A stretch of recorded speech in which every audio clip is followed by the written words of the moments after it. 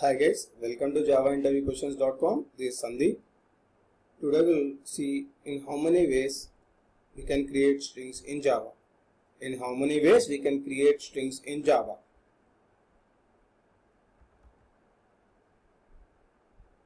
Let's create a class called string demo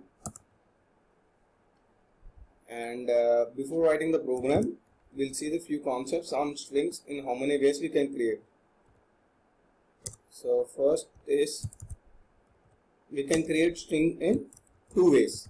We can create a strings we can create strings in two ways. So the first concept is what? Is string literals. String literals. And the second concept is second one is by using new operator. Okay we can create strings using string literals as well as by using new operator okay. So let's write a program. So when we say string str equals to hello. When we say string str is equals to hello we are creating a string using string literals. When we say string str equals to hello, we are creating string using string literals. And uh, when we are creating a string using new operator, when we are creating a string using new operator, then we are creating string using new operator. So let's see the differences between string uh, creating a string using string literal and creating a string using new operator. So when we say string str equals to hello, what happens is JVM will check whether the string is available in string constant pool or string pool.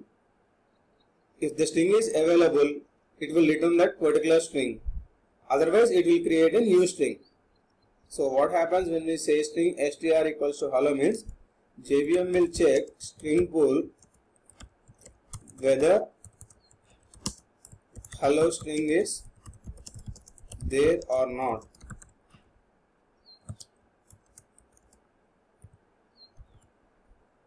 If the string is available, the string is available, it returns the string. Otherwise it creates a new string object. So what happens is JVM will check in string pool whether there is a hello string or not. If there is a hello string it will return the particular string. It won't create any new object. It returns the existing string. If hello string is not available in string pool what it do, what it does is it creates a new string object.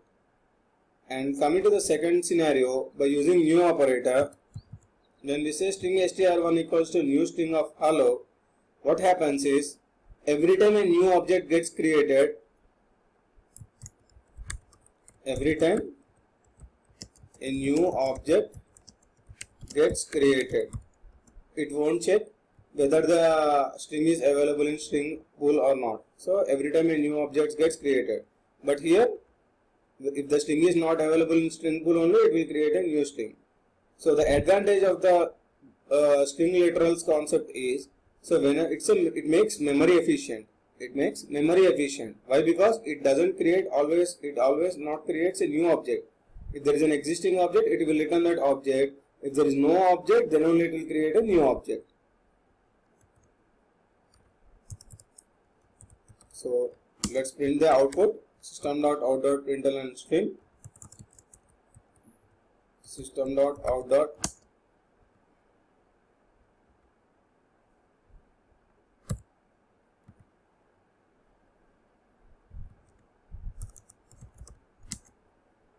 println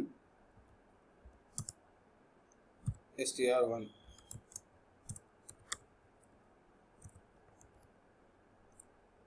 So let's run the program and see the output.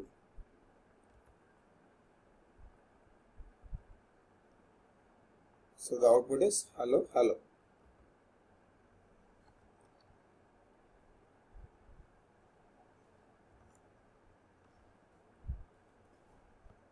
So this is how we create a string objects in Java by using new operator and by string literals.